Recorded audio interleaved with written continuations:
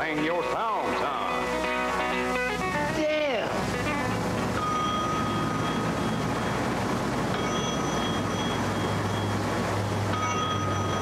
75% of all gasoline consumed in this country is burned in the automobile.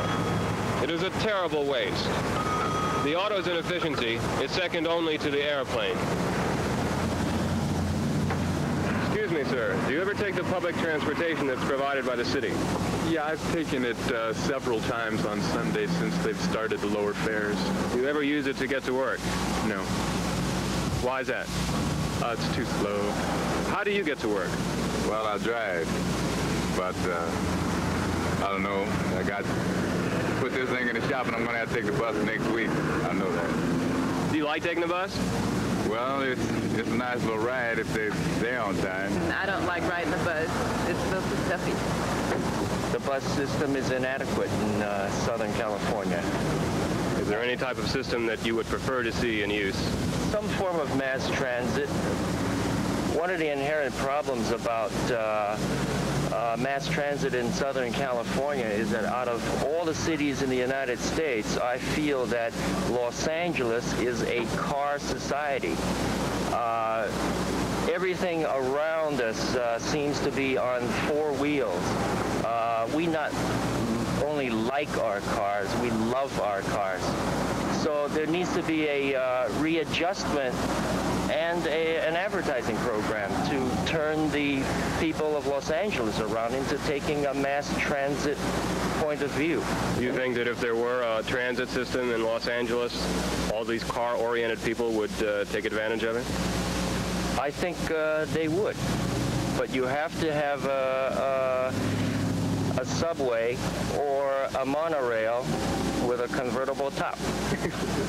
I'm a native of Los Angeles, and uh, I, I can remember the streetcars, electric cars, and where one could uh, jump on a streetcar and transfer and travel anywhere in the city of Los Angeles. It was a clean city. And uh, when then, after the buses started coming in and you know polluting, they're just spewing out monoxide fumes. That took a lot of people back uh, or into automobiles. And as a result, the city of Los Angeles is a dirty city.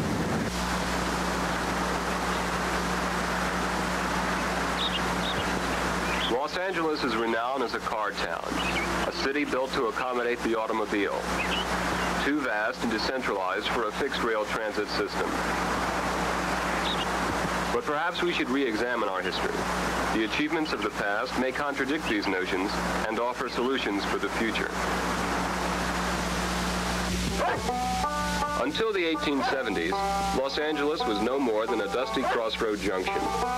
Unlike other cities in the U.S., it was neither situated on a waterport or a railroad line and depended on the horse for movement. The horse kept Los Angeles a horse and buggy town. In 1885, Southern California was connected to the Continental Railroads, and the result created the foundations for one of the most unique metropolises in the world.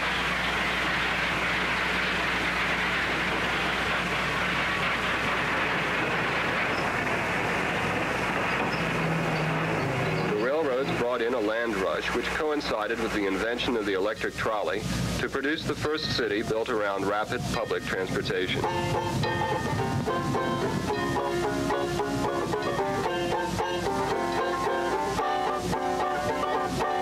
Speculators raced to the outlying areas to rename orchards as towns with the promise of regular service by the coming trolley lines.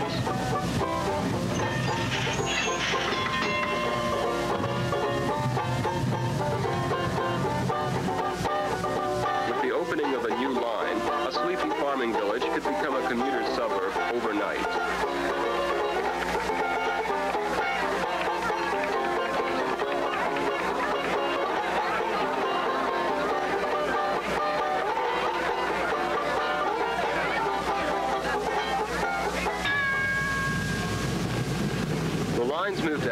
Five directions until some 50 satellite communities were connected.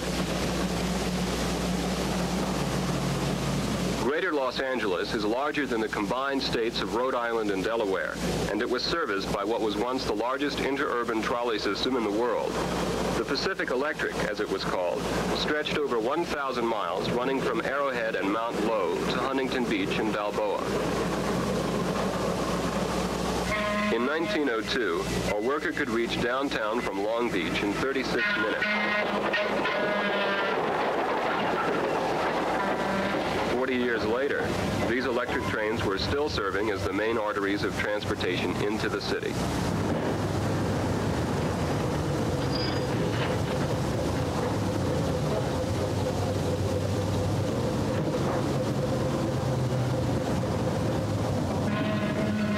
Unobstructed in the open country, they were the unchallenged leader in speed and comfort.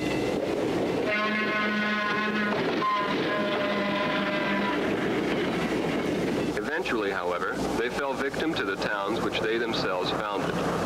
The tragic flaw in the electric transit cars was their unguarded rights of way.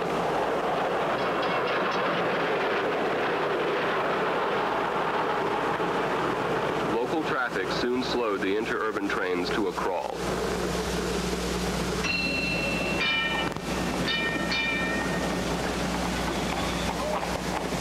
As early as 1907, the transit companies were faced with congestion. They proposed subways which might carry trolleys beneath the downtown streets, which were already crowded with pedestrians, autos, carts, carriages, bicycles, trucks, and stagecoaches. A short tunnel was dug under Bunker Hill with the dream of an extensive downtown subway, but nothing further was done for nearly 20 years. Finally, in 1922, a plan was presented involving four miles of subway and an underground terminal. The cost, however, reduced the plan to this one-mile tunnel, which was dug under the downtown area.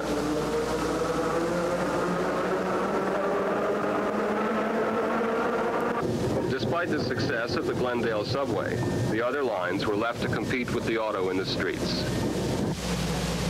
Another solution was to go over the traffic, and the following year brought in a plan to expand an elevated spur to bring passengers into a central point in the city. This elevated system would remove over 1,000 trains daily from the streets to make the time schedules once again competitive with the automobile.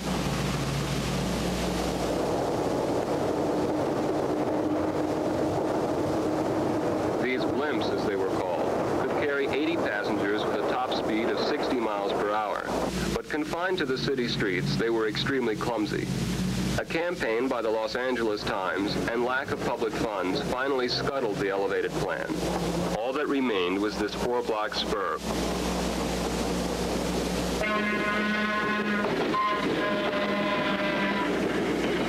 What finally happened to the world's largest trolley system?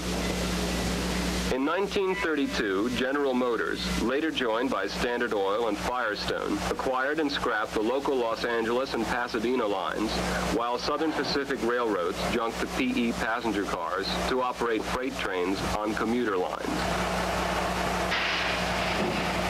Together, they eradicated a transit mode that had built the Los Angeles basin.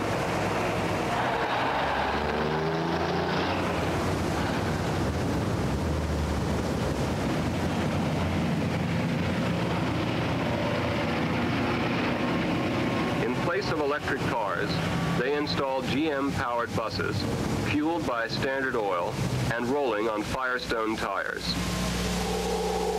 Pacific Electric's red cars were carried to Terminal Island, where they were stripped of any valuable metals. Those not sold overseas sat rusting in the salvage yards until they could be cut into smaller sections for burning.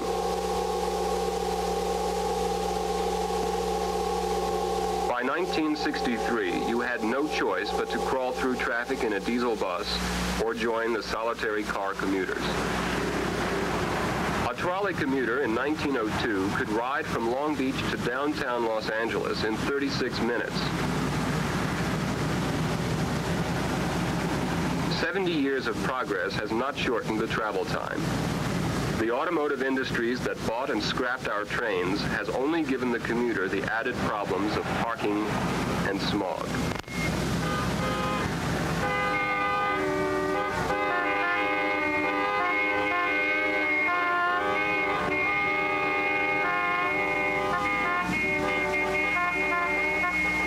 Is the answer to build more freeways, or is it time to make an assessment of the possibilities for the future? The automobile is here to stay, but its purpose is best served in the suburbs. There is no reason to flood the central working areas with single passenger vehicles. A train or some type of fixed guide system should serve the commuter.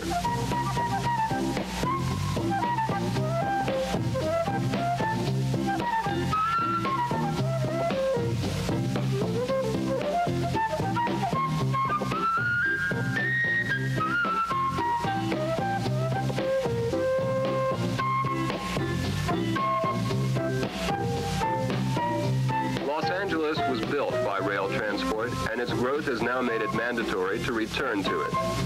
According to the 1970 census, the population density of the urbanized area is second only to New York. The newly proposed fixed guideway system calls for a length of subway under Wilshire Boulevard. This district has the highest job density in the nation.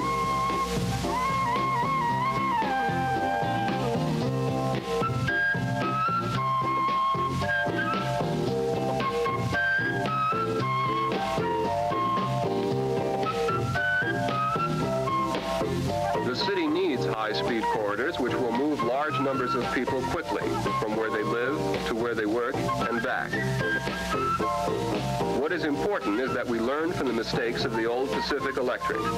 Public support must be given for subsidies. Rapid transit is a public service.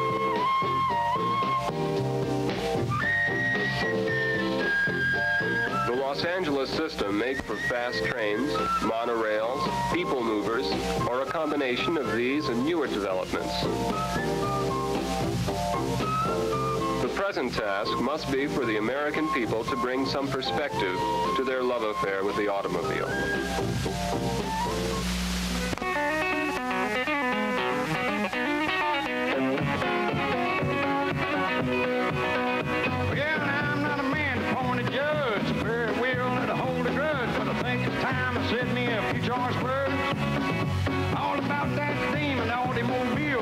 Monster with the polyglass wheels, the end result of the trend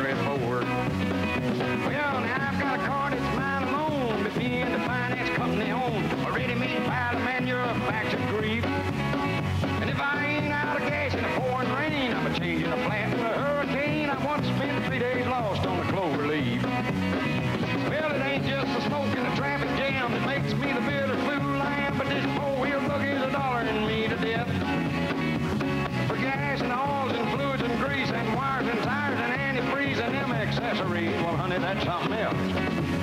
Well, now, Lord, Mr. Ford, I just wish that you could see what your simple horseless carriage had become. Done to man, to say the least. Got a little out of hand. Well, Lord, Mr. Ford, what have you done?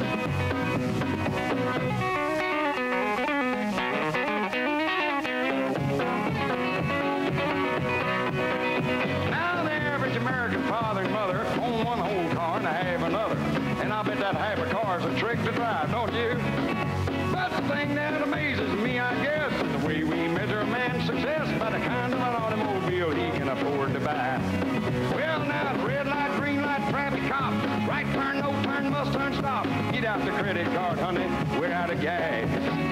Well, now, all the cars place end to end would reach to the moon and back again. There'd probably be some poor fool pull out the pants. Well, now, Look the good old days without that carbon dioxide haze hanging over the roar of the interstate.